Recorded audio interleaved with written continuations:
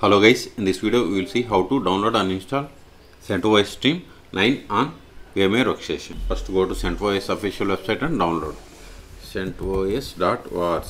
Hit enter. Then click on download. Then see here we have the 9 and 10. Okay.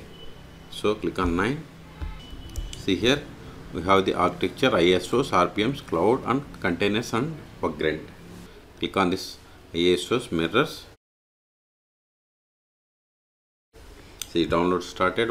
See its size is about 12.3 gigabytes. I'm cancelling this one because i have already downloaded. In your case wait until download completes. Once download is completed then open vmware workstation. Now click on create a new virtual machine or select file and go to new virtual machine. Both are same. Next. Then select the downloaded CentOS stream ISO image click on browse. Then go to downloads. See here we have the CentOS stream 9 select it. Click on next. Personalize Linux.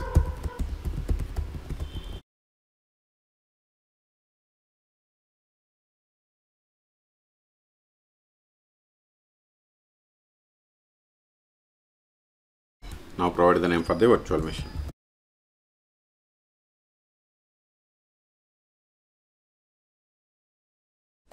then select the location to store this virtual machine files and folders. Click on browse.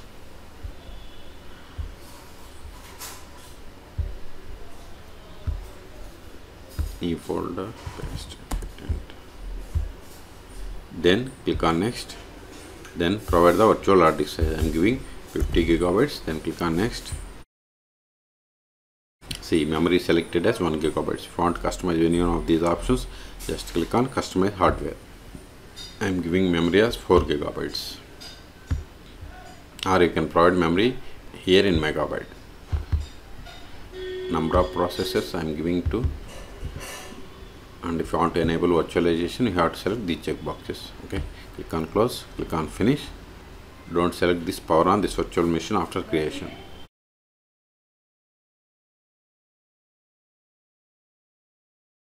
Still if you want to modify the settings of this virtual machine click on edit virtual machine settings. Or right click and select settings. Or go to VM and select settings. All three options are same. If you want to provide any description for this virtual machine you have to provide here. If you are okay with all the settings then click on power on this virtual machine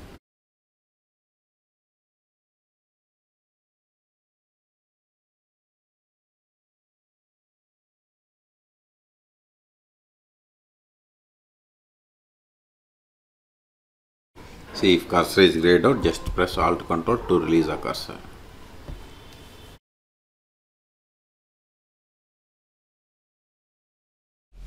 See, welcome to CentOS Stream 9 and set the language. Then click on continue.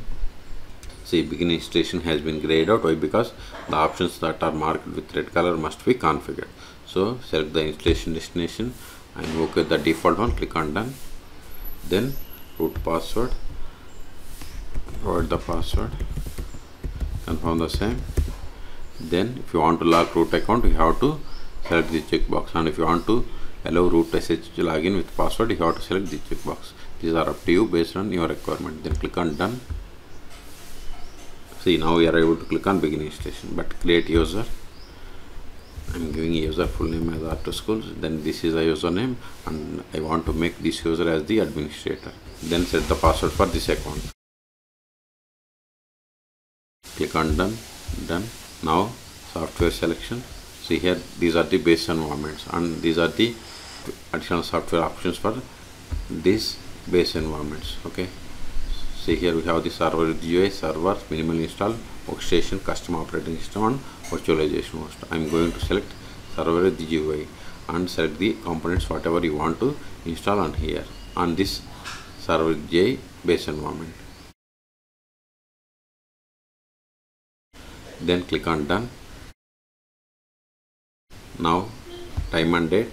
See you can select region and city from this drop down. Or you can select on the globe. Okay? But if you want to configure this time just you have to turn off. Then only we will be able to set. Okay? I want to go with the defaults. So click on done keyboard language I'm uh, going with the defaults. Okay if you are okay with all the settings then click on begin installation.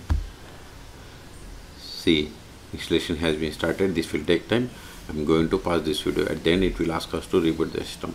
Then we will reboot the system and we will perform the post installation steps. In meantime please subscribe my channel for more tutorials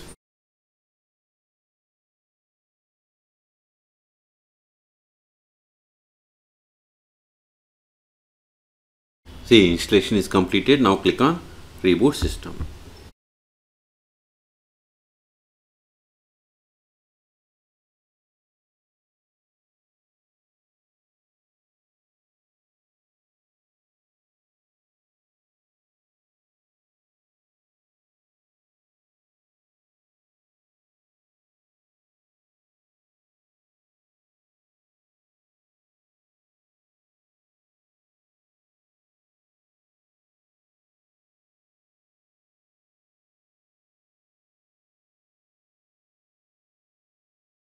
now click on username and provide the password.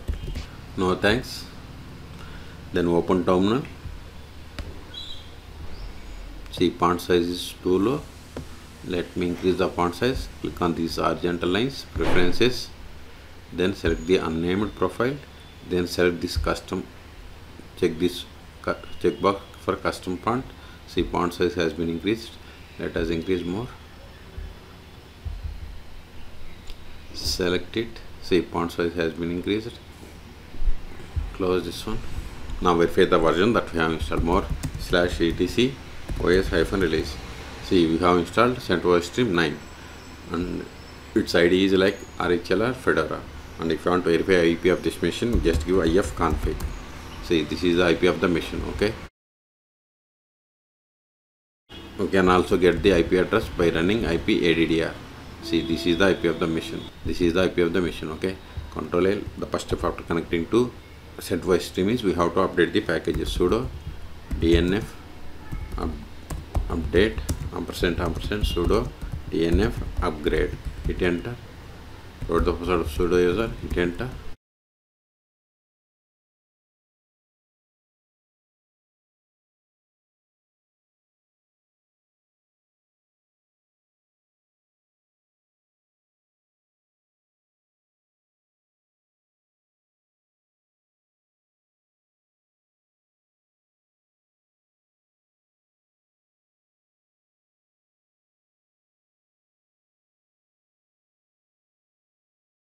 everything is up to date okay? Control a.